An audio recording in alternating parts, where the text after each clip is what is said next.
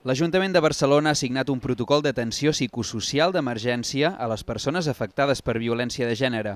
L'acord estableix com s'han de coordinar Ajuntament, Mossos d'Esquadra, el Consorci Sanitari de Barcelona i l'Institut Català de les Dones davant d'aquest tipus de casos.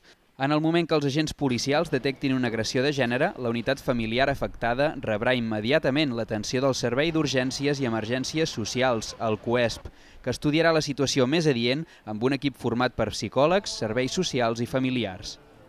Nosaltres tenim clar que la transversalitat en l'actuació és clau i avui el que estem fent és això. Aquest protocol respon a aquest compromís i a aquest esperit de donar resposta a qualsevol situació crítica que pot succeir a la nostra ciutat i a la que cal donar resposta de manera integral a través d'intervencions multidisciplinars que ajudin a les persones a retornar a la normalitat el més aviat possible i amb les menys dificultats possibles. Un cop tractada l'emergència, el CUESP elaborarà un informe de seguiment de cada cas i derivarà les persones als serveis socials habituals. Aquest protocol de resposta immediata s'aplicava fins ara en emergències socials com desnonaments o persones grans molt vulnerables i s'amplia als casos de violència de gènere.